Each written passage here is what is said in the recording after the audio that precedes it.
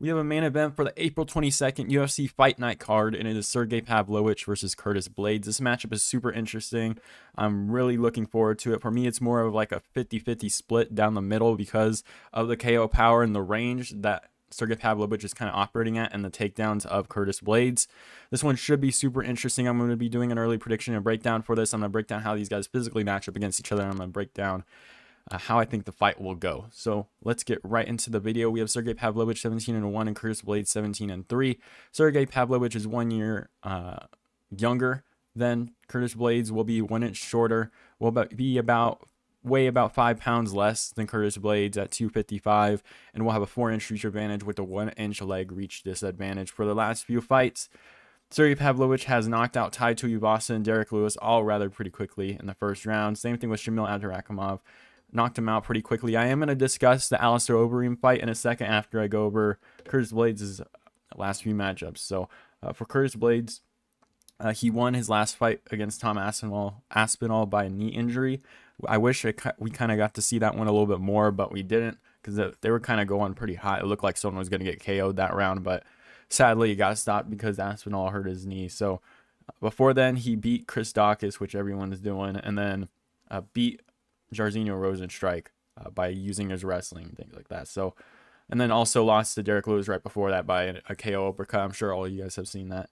Uh, but for this one, for Sergei Pavlovich, I'm kind of gonna look at. I guess I don't necessarily need to look at it, but I guess let me look at how long ago this fight was. So for Alistair, the Alistair Overeem fight, it's about probably like three years ago because that fight was what 2018 November 24th. So that fight was a while ago.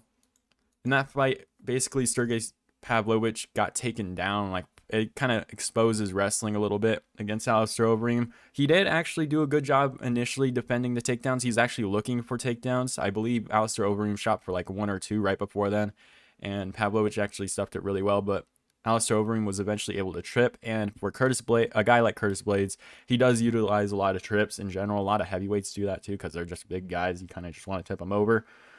But again, for Curtis Blaydes, he kind of can be caught. So against guys like Derek Lewis, like his losses have been against Derek Lewis and Francis Ngannou, two of the biggest power punchers in that division. And you can honestly put Sergei Pavlovich up there also, especially the way Sergei Pavlovich uses his range. It's absolutely incredible. Like he's he's able to just like you saw in the Derek Lewis and Tai Tuivasa fight, he's just able to avoid punches because of the range. He steps back. He he takes really good punches. So that's why this is a pretty interesting matchup, especially with the the long reach advantage here. For this one, um, there are situations where I think Curtis Blaydes can't get him down. I think Curtis Blaydes will actually need to put him in the clinch against the fence and tip him over, just kind of like how Alistair Overeem did. Um, you just need to get them into the fence. Although it is pretty dangerous to get inside that distance, you honestly just need to close it off and then just try and tip them over. Because if you're going to try and go for a regular takedown, Sergei Pavlovich is also pretty strong enough to defend him. And he's and he has that KO power. So you're going to be entering into range every single time you shoot him for a takedown. So I think for Curtis Blaydes, even if he does attempt to trip on those takedowns, I think he also needs to, to clinch up and like move him towards the fence because it is very very powerful. He has very powerful hands. He can definitely hurt you pretty badly. The issue for Curtis Blaydes here is the round always starts on the feet. So this is a five round fight. Um, I don't expect it to go to a decision. Maybe Curtis Blaydes actually gets a lot of the takedowns off. But I don't know. This is a very this is a very split matchup for me. I think Pavlovich definitely has a really good chance of winning this, and I think Curtis Blaydes has a really good chance of winning this. So for my Okay, so I guess I'll just break down how I think this one will go. I think first round, I think this probably ends in the first round, in all honesty. If not the first round, probably the second round for a Blaydes win. But I think I actually am going to edge Pavlovich here. I think his range, like the way he's able to just find people from his range, I think is just super dangerous at this point. My hope is that at least three or maybe around three or four years ago when he did fight Alistair Overeem, he's able to like work on his defensive wrestling, and, and hopefully that's no longer an issue for him. But I can only hope at this point it'd be kind of me just going out on a limb to say that for this matchup. But that's my hope for this. I, I hope if I'm going to go with Pavlovich here, which I think I am going to go with Pavlovich by KO, my hope is that he's actually been working on his wrestling because I think he probably figured out that that's probably his main issue um, in his fights. So I think if Pavlovich has been working on his wrestling, if Curtis Blaydes shoots open, he doesn't shoot against the fence.